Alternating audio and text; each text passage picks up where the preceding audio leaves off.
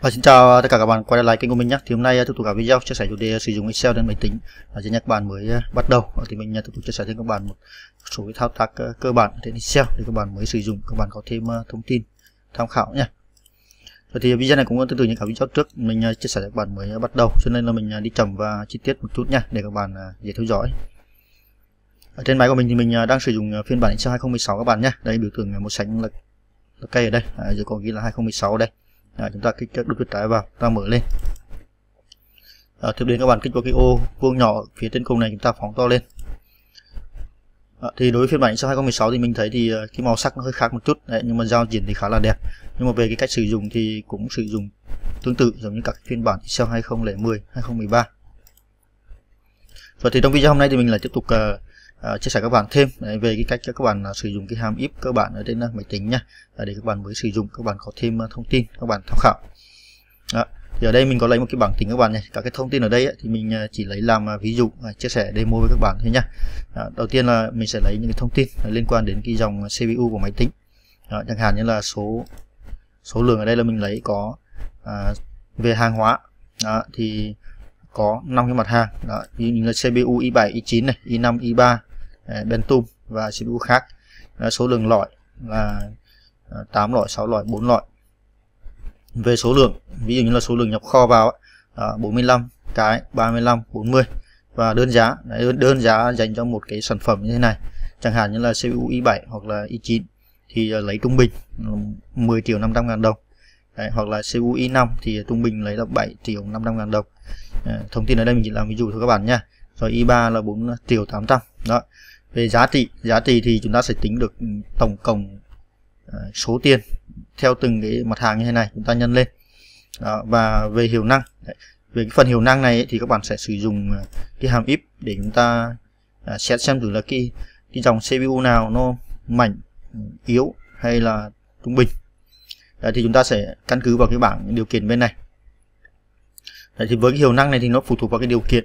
Các bạn thấy rằng ở bên này của mình có chia sẻ các bạn là có năm cái điều kiện điều kiện thứ nhất này là CPU mà có số lõi là lớn hơn bằng 8 ấy, thì là thuộc CPU có hiệu năng rất là mạnh. Đấy, hoặc là lớn hơn bằng 6 bé hơn 8 thì có hiệu năng mạnh. Đấy, và lớn hơn bằng 4 bé hơn 6 thì là trung bình. Đấy, tương tự như thế ở dưới là đủ dùng và yếu. Như vậy thì chúng ta sẽ có 5 cái điều kiện 1 2 3 4 5 và nếu các bạn sử dụng cái hàm if ấy, để chúng ta xét cái hiệu năng của CPU thì Ờ, với năm cái điều kiện này thì chúng ta chỉ cần uh, sử dụng thường thường là chúng ta sử dụng bốn cái hàm if là được rồi. Đó, cứ năm điều kiện thì chúng ta sử dụng bốn hàm if hoặc là có bốn điều kiện thì ờ, chúng ta sẽ sử dụng ba cái hàm if tức là à, giảm đi một các bạn nhé hoặc là có hai điều kiện thì chúng ta sẽ sử dụng một hàm if là có thể được rồi. Rồi cái cột giá trị này các bạn nhé rồi cái cột g này này. Đấy thì chúng ta sẽ lấy số lượng đấy và nhân cho đơn giá. Thì chúng ta sẽ được tính được cái giá trị à, tổng cái mặt hàng chúng ta nhập vào kho à, cái bảng này là mình lấy theo kiểu theo cái đánh giá cái mặt hàng ở trong kho. Đấy, thì đầu tiên chúng ta sẽ đánh dấu bằng vào các bạn này. Đó, tiếp theo chúng ta lấy số lượng. Số lượng chúng ta sẽ tính mặt hàng đầu tiên đó là CPU i7 và i9 nha. Chúng ta lấy số lượng đầu tiên là cái cột này vị trí này.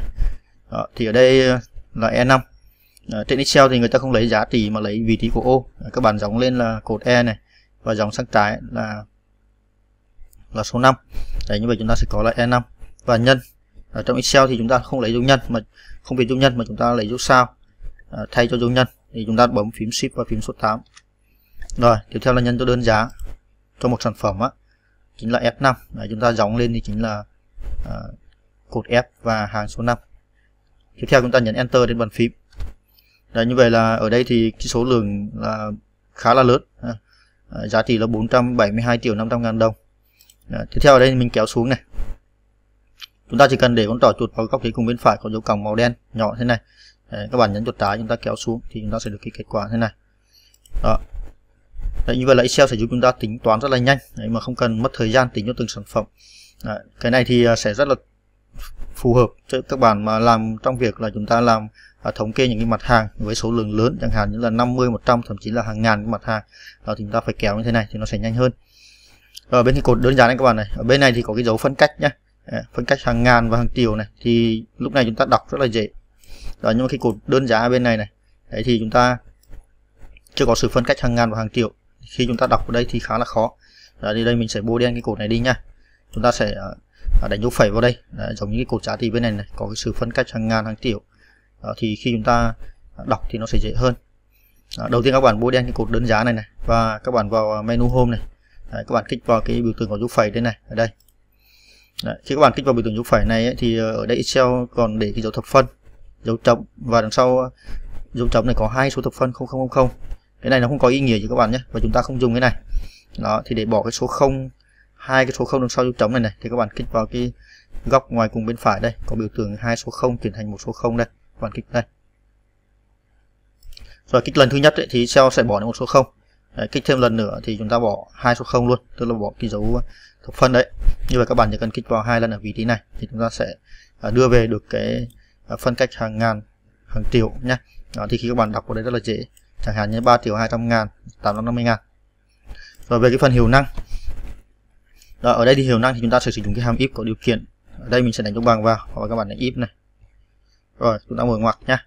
Và điều kiện đầu tiên ấy, là số lõi lớn hơn bằng 8 thì rất là mạnh. Vậy thì số lõi thì cái điều kiện này liên quan đến cái số lõi thì các bạn sẽ căn cứ vào cái cột D bên này. Đấy, số lõi đây. Thì các bạn kích vào đây này. Chúng ta sẽ chỉnh chúng ta sẽ đánh cái ô xét cái ô đầu tiên trước. Rồi như vậy là ở đây chính là D5 à, D5 mà lớn hơn bằng 8 à, bằng chỗ lớn hơn và dấu bằng số 8 rồi phẩy. Thì chúng ta mở ngoặc kép ra. À, rất mạnh nhé rất mạnh. Đấy, tức là số CPU mà có số loại à, từ 8 loại trở lên thì rất là mạnh rồi tiếp theo chúng ta phẩy rồi đánh tiếp hàm if if mở ngoặc. Ở cái điều kiện thứ hai thì các bạn à, lưu ý là à, chúng ta có hai cái điều kiện nhá. Thứ nhất đó là số loại phải lớn hơn bằng 8 này và bé hơn 8 thì được xếp vào cái dòng có hiệu năng mạnh. Như vậy có hai điều kiện thì các bạn sẽ sử dụng cái hàm n nhá để chúng ta lấy nhiều điều kiện cùng một lúc là AND rồi mở ngoặc mở ngoặc của hàm n đó thì chúng ta sẽ có là tiếp tục là D à, D5 à, D5 lớn hoặc bằng dấu lớn hơn này số bằng này. 6 Đấy, phẩy hoặc là D5 à, ờ, bé hơn 8 dấu bé hơn số 8 rồi đóng ngoặc. Đấy, cái này đóng ngoặc của hàm n các bạn nhé các bạn lưu ý là chúng ta thường thường hay quên cái dấu đóng ngoặc ở đây này. Là khi sau đó các bạn gõ xong ấy thì chúng ta nhấn enter thì cái hàm nó sẽ báo lỗi. Đấy, các bạn nên chú ý kiểm tra cái dấu mở ngoặc và đóng ngoặc của hàm n này đã đủ chưa nha rồi đóng ngoặc ở đây chúng ta phẩy này. Mở ngoặc. À, mở ngoặc thì ở đây chúng ta sẽ có là mảnh đó. tức là từ à, uh, 6 loại đến dưới 8 loại thì được xếp vào là mạnh. rồi chúng ta phải tiếp sang điều kiện thứ ba tức là hàm if thứ ba là if tương tự như thế chúng ta cũng có hàm n and mở ngoặc thì à, cái hàm if thứ ba này điều kiện thứ ba đó là lớn số loại lớn bằng 4 Đấy, và bé hơn 6 thì chúng ta cũng có là D5 Đó. lớn hoặc bằng 4 rồi phải D5 bé hơn 6 rồi chúng ta đóng ngoặc nha. Của hàm n cái đóng ngoặc rất là quan trọng. Rồi lấy phẩy. Chúng ta mở ngoặc ra. À, hai cái điều kiện của hàm n đó là D5 lớn bằng 4 D5 bé hơn 6 thì thỏa mãn hai điều kiện này thì chúng ta sẽ lấy là à, trung bình. Tức là sức mạnh của nó là trung bình. Rồi chúng ta đóng ngoặc kép. Đó. Phẩy. Rồi sang cái điều kiện thứ tư đó là à, đủ dùng.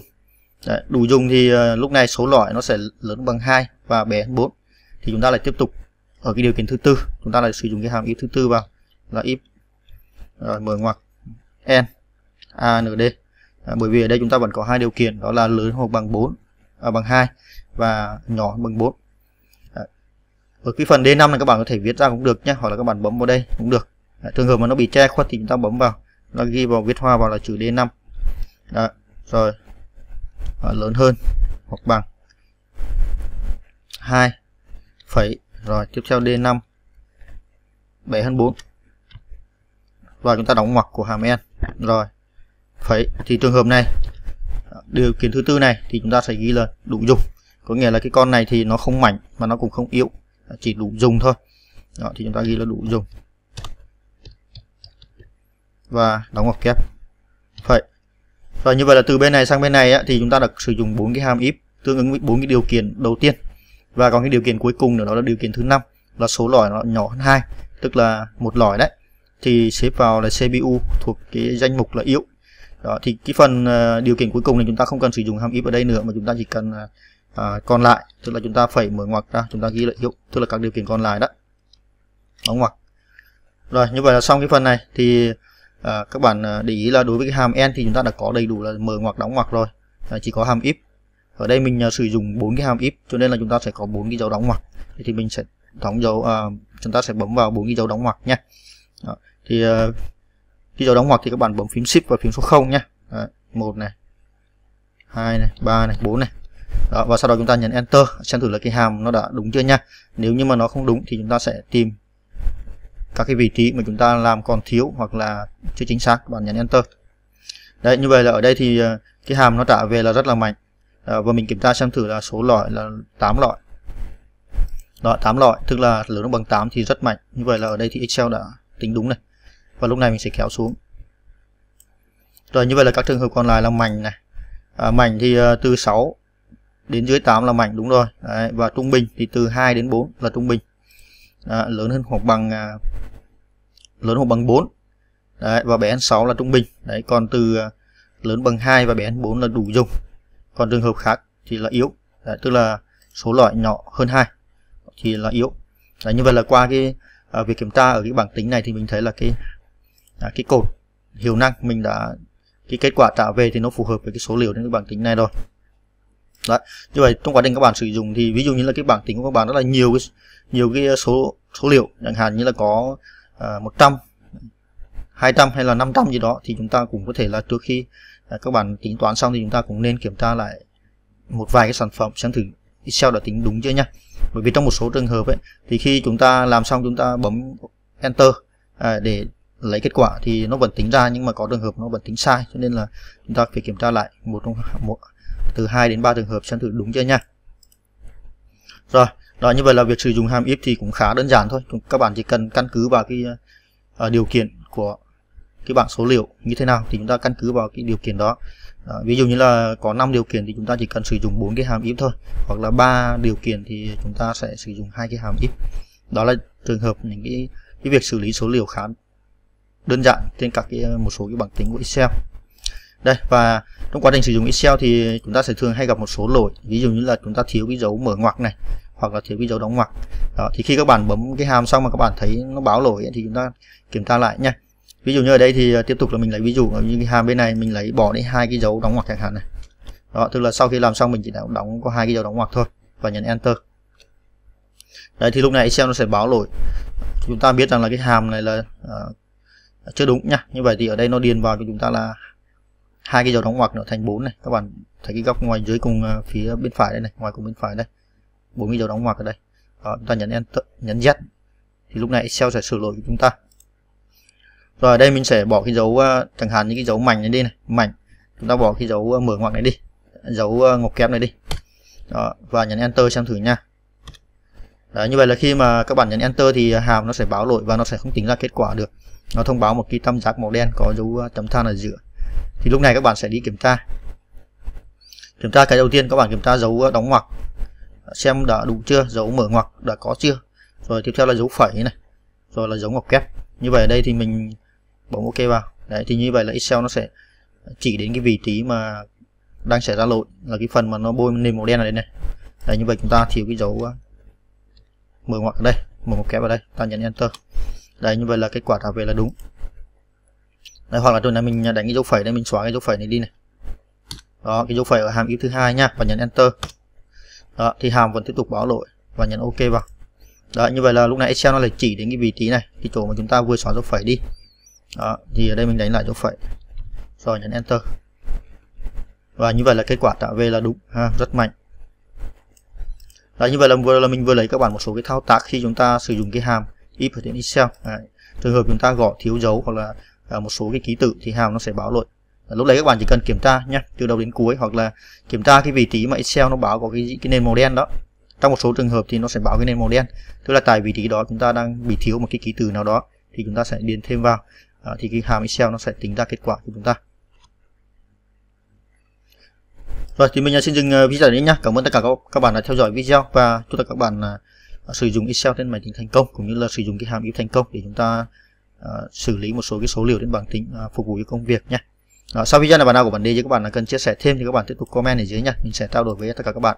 Và nếu các bạn thấy video của mình hay và ý nghĩa thì các bạn nhớ like và chia sẻ cho tất cả mọi người cùng xem nhé. Và đừng quên đăng ký kênh để ủng hộ mình nhé. Để mình có động lực làm thêm các video khác chia sẻ tất cả các bạn nhé. Rồi xin chào à, tất cả các bạn.